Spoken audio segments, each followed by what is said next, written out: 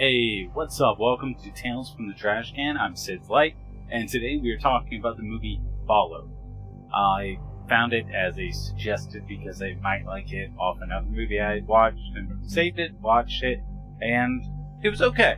It was a unique approach. It's basically a vlogger going to a horribly haunted place with a few real world tie-ins uh, as reference, basically. Uh, but let's go ahead and jump into it. Uh, the plot of the movie. This guy, Drop the Mic, is a vlogger who has an offer that if he can get 50k new subscribers, he'll get $250,000. So his plan is to go to the infamous hotel, Lenox Hotel, as it's called, in downtown Los Angeles, I believe. Um, but yeah, downtown Los Angeles, I think the Lenox Hotel. And it, it alludes to real world events enough that it's it's hinting at where this really could be. Um, one of them being the uh, character in the movie was called Megan Kim, but it's a reference to Elisa Lam, Elisa Lam, something along those lines. Uh, the girl who's acting erratically on an elevator and then disappeared was uh, later found dead. Uh, there's a reference to that in the movie.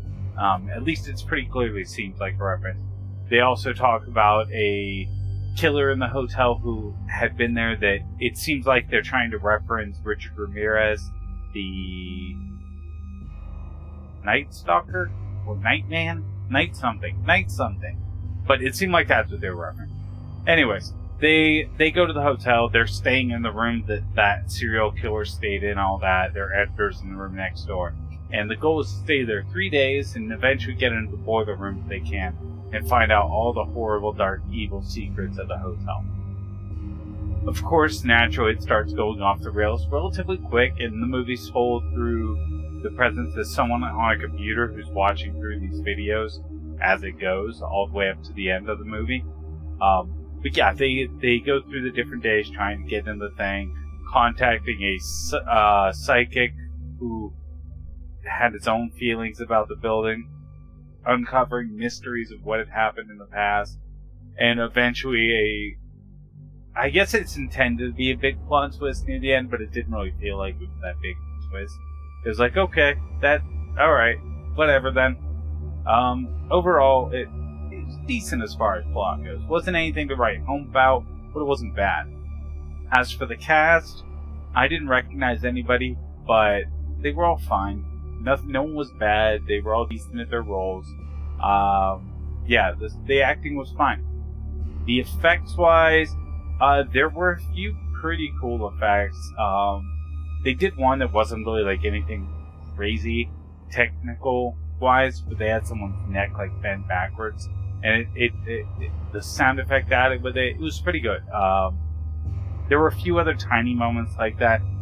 I didn't feel like it was that gory, but I did say the effects that they, I mean, I will say the effects that they did use all seemed great. I I enjoyed that aspect of the movie. It was quality on that front. And then uh, overall, overall, I'm gonna honestly, I'm gonna give the movie a.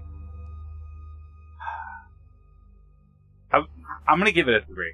I was torn between a three and three point five, but I'm gonna give it three skulls because I didn't personally think it was very scary. I at no point was scared. I don't think I even remember jumping during it, but I, I was entertained. It was an entertaining horror genre movie with a somewhat original take and approach.